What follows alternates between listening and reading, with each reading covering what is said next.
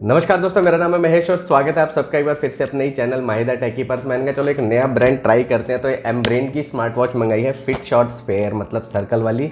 इससे पहले इनकी फिट शॉट आई थी जैस्ट नाम था, पता नहीं क्या नाम था। तो वो जो थी, इनकी स्क्वायर शेप की वॉच थी। तो देखते हैं, इस स्मार्ट वॉच में ऐसा क्या खास मिलने वाला है। पैकेजिंग वैकेजिंग डब्बा तो काफ़ी अच्छा बनाया है। और ये वॉच हम डाल के इसको यूज़ भी किया है काफ़ी अच्छे से। तो देखेंगे वीडियो में क्या ये स्मार्ट वॉच आपके लिए लेना सही रहेगा, नहीं रहेगा, क्या इसका जो प्राइस है दो हज़ार नौ सौ निन्यानवे वो उसको जस्टिफाई कर पाएगी। चैनल पर नया है दोस्तों तो सब्सक्राइब ज़रूर करें। वीडियो को लाइक कमेंट शेयर करना बिल्कुल भी ना भूलें। So let start with the video खूबसूरत सा बॉक्स आ गया है। हमारे सामने सारे फीचर्स बता दिए गए हैं डब्बे के ऊपर। उसके अंदर देखिए ये कि भैया आप हमें कैसे कांटेक्ट कर सकते हैं, कोई एडवाइस दे सकते हैं। उसके अलावा देखिए एक ये क्यूआर कोड है, जिससे जो है आप इसका यूज़र मैनुअल डाउनलोड कर सकते हैं। देखिए तो ये आपको इसको स्कैन करना है। स्कैन करते ही जो है आपको वेबसाइट पर ले जाएगा एम ब्रेन की और वहाँ पर जाके आप नीचे जाएँगे तो वहाँ पर आपको इसका यूज़र मैनुअल मिल जाएगा, जिसे आप डाउनलोड कर सकते हैं। तो अच्छा तरीका है डिजिटल जाने का डिटेल में भी मिल जाता है। उसके बाद ये दूसरा तरीका है आपको कस्टमर केयर से बात करने का और उसके बाद बॉक्स के अंदर और देखते हैं तो आपको ये ये वाला चार्जर मिल जाता है जो कि काफ़ी कन्वीनियंट रहता है चार्जिंग के लिए।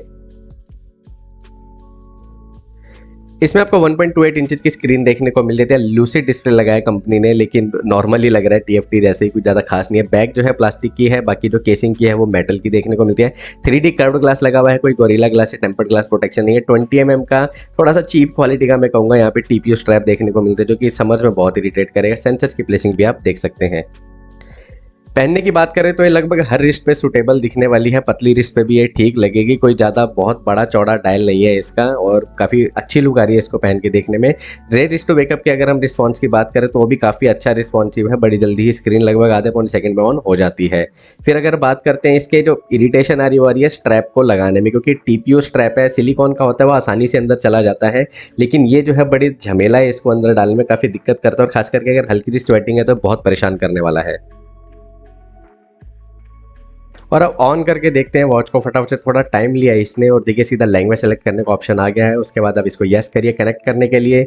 उसके बाद जो है एमब्रेन का लोगो आ जाता है, यहाँ पे हमें सामने देखने को मिल जाता है और साथ में फिर वॉच फेस और वॉच ऑन हो गया है। फीचर्स देखें तो H R S P O two heart health stress monitor alarm messages timer stopwatch और सेटिंग्स तो कोई ज़्यादा भरे हुए नहीं है इसका मेन्यू वॉच फेसिस लगा सकते हैं ब्राइटनेस की आप एडजस्टमेंट देखिए। इसमें ऑटो वाला ऑप्शन भी ऑटो में सीधा डिम हो जाता है। और कुछ इसमें फ़र्क नहीं पड़ रहा है ऑटो ब्राइटनेस नहीं है जो नॉर्मल होती है। उसके बाद अबाउट और रीसेट तो कोई ज़्यादा फीचर्स यहाँ पे नहीं देखने को हमें मिलते हैं। फिर ऊपर से नीचे स्वाइप करते हैं तो आपको ये होम स्क्रीन पर हार्ट रेट का डेटा एक्टिविटी का डेटा एस का डेटा ये सारा कुछ देखने को मिल जाता है। उसके बाद नीचे से ऊपर स्वाइप करते तो अगेन वही चीज़ें रिपीट होती हैं। फिर लेफ़्ट टू राइट स्वाइप करते ही स्पोर्ट्स मोड आपको जीरोनर एप्लीकेशन डाउनलोड करनी है प्ले स्टोर से, उसके बाद आप इसमें अपना लॉगिन आईडी क्रिएट कर ले ताकि आपका हिस्टोरिकल डेटा सारा सेव रह सके। फिर आप वॉच सर्च करेंगे, ये कनेक्ट हो जाएगी ओके करते ही तो कोई मतलब ट्रबल शूटिंग नहीं हुई इसके अंदर।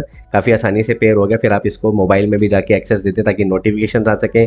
कॉल वगैरह को आप एक्टिवेट कर दीजिए नोटिफिकेशन आपको जिस जिस ऐप के चाहिए वो एक्टिवेट कर सकते हैं। नीचे प्लस दबा के आप बाकी ऐप्स में भी जा सकते हैं। उसके बाद देखिए रेडिस टू वेकअप को आप सेट कर सकते हैं शेड्यूल कर सकते हैं इसके अंदर टाइम स्क्रीन ऑन टाइम साठ सेकंड भी है, इसमें जो काफ़ी अच्छी चीज़ है, ट्वेंटी फोर आवर टाइम को आप सेट करके बारह आवर में कर सकते हैं ताकि टाइम अच्छे से दिखे। उसके अलावा लैंग्वेज है, डेट फॉर्मेट है, ऑटो हार्ट रेट अलर्ट आ जाता है। हार्ट रेट की जो गाइडेंस है, वो इसमें देखने को मिल जाती है। आप यहाँ पे लिमिट जो है सेट कर सकते हैं। इससे लिमिट से ऊपर नीचे हार्ट रेट होगा तो अलर्ट आएगा। स्मार्ट लॉक आ जाता है।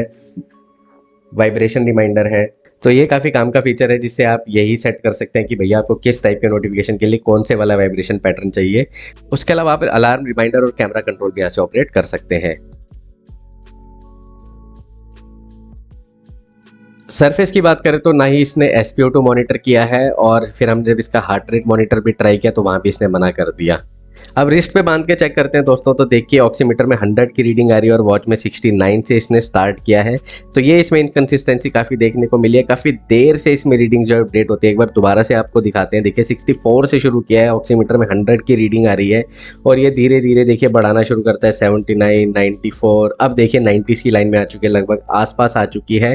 तो यहाँ पे इनकन्सिस्टेंसी अब देखिए मैं ज़ोर ज़ोर से सांस ले रहा हूँ तो ऑक्सीमीटर में जो है बढ़नी शुरू हो गई है रीडिंग लेकिन वॉच में जो है काफ़ी धीरे धीरे बढ़ रही है। बारह तेरह पॉइंट का फ़र्क है। तो हार्ट रेट की एक्यूरेसी यहाँ पे अच्छी निकल के नहीं आ रही है। सेम एस में भी हमें ये हाल देखने को मिला। ऑक्सीमीटर में 99 है और वॉच ने 96 दिखाई और रीडिंग कोई चेंज नहीं हो रही, ना कम हो रही है, ना ज़्यादा रही है। 96 पे अटक गया है। तो मैंने कहा कि चलो इसका एक बार दोबारा टेस्ट करके देखते हैं। तो दोबारा टेस्ट किया तो वहाँ पे भी हमको सेम ही रिज़ल्ट देखने को मिला है। तो दोनों की एक्यूरेसी जो यहाँ पे अच्छी नहीं है।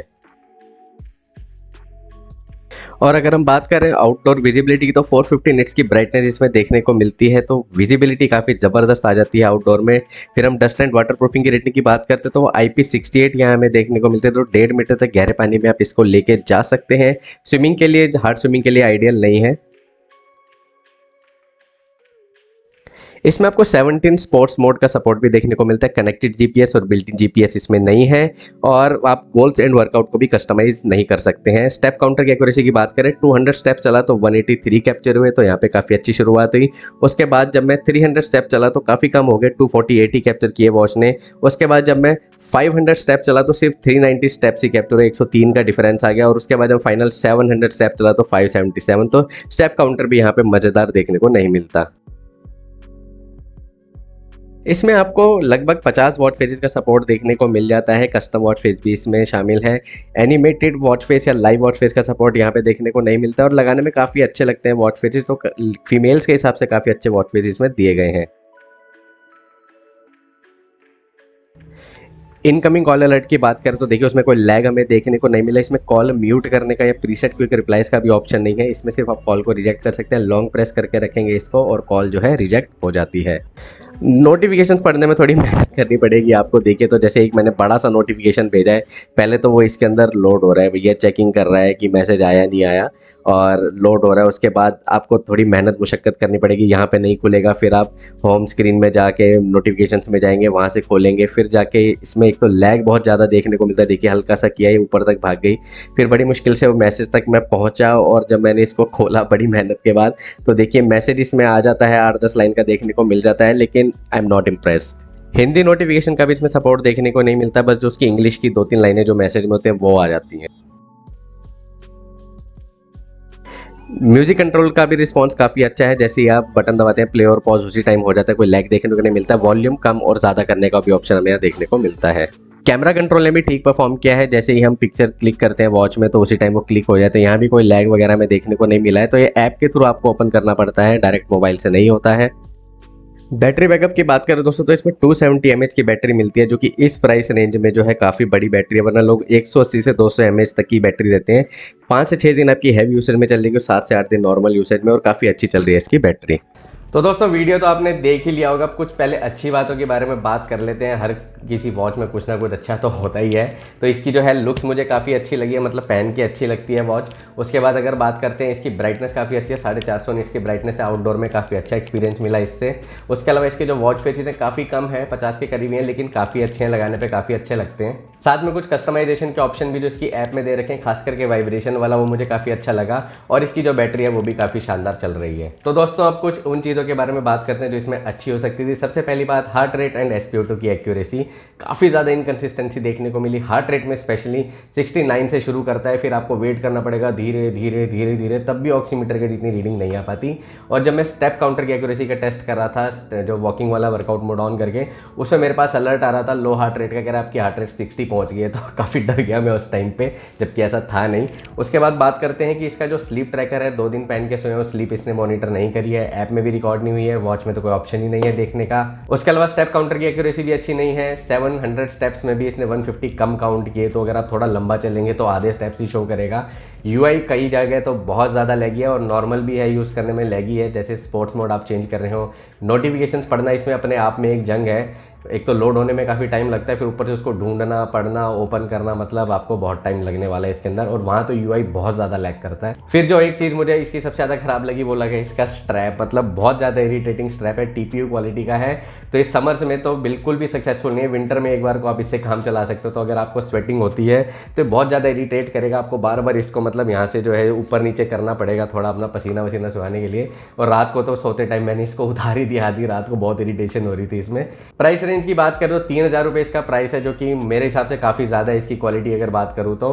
तो मेरे हिसाब से इसका प्राइस डेढ़ से दो हज़ार होता तो शायद आप एक बार को फिर भी काम चला सकते थे, क्योंकि इस प्राइस रेंज में अगर आप देखें तीन हज़ार से नीचे हमारे पास बहुत तगड़ी तगड़ी स्मार्ट वॉचेज़ हैं, जैसे निंजा की सीरीज़ है, काफ़ी अच्छी, दो हज़ार में काफ़ी अच्छी वॉचेज़ मिल जाती हैं फायरबोल्ट निंजा की सीरीज़ की।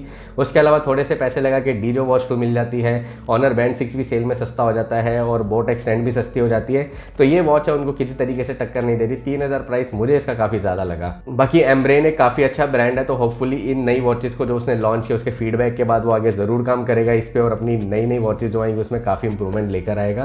तो आपकी क्या राय स्मार्ट वॉच के बारे में? मुझे कमेंट करके ज़रूर बताएँ। मिलेंगे अगले वीडियो में नया रिव्यू नया कंपेरिजन लेके। तब तक के लिए बने रही मेरे चैनल पर। बाय